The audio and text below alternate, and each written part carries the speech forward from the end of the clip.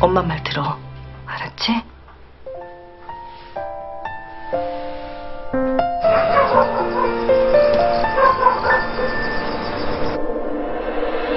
어쩌면 이것이 은유와의 마지막 밤이 될지도 모른다는 생각에 정옥은 억눌렀던 두려움과 슬픔이 동시에 솟구쳐 오릅니다. 24년 동안 바라봤던 은희의 얼굴을 마지막으로 가슴에 새겨 넣으려는 듯 조심스레 손끝으로 은희를 어루만지는 정옥입니다.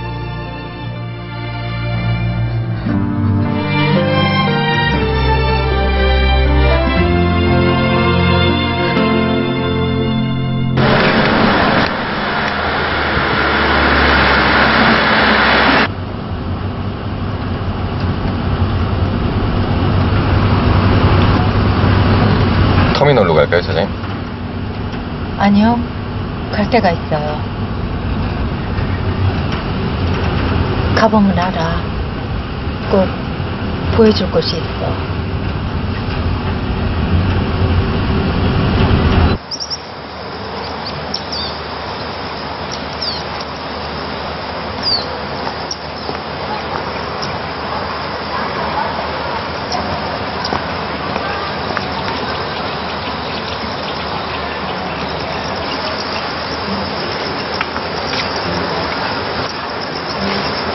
형님, 여기 왜?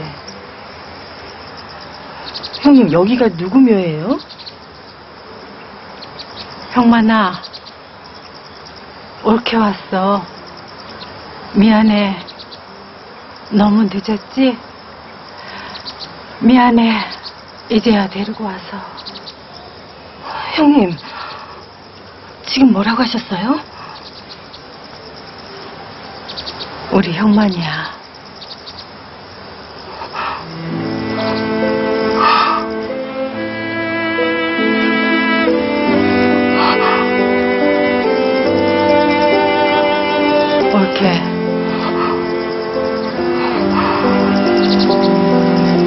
(24년) 만에 만났는데 인사도 안 할 거야?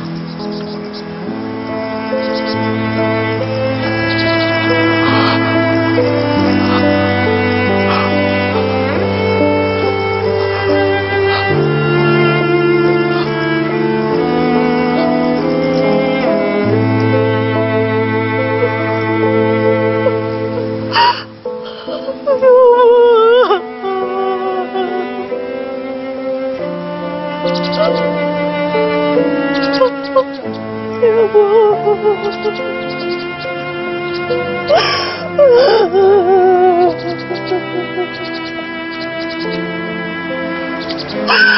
呀！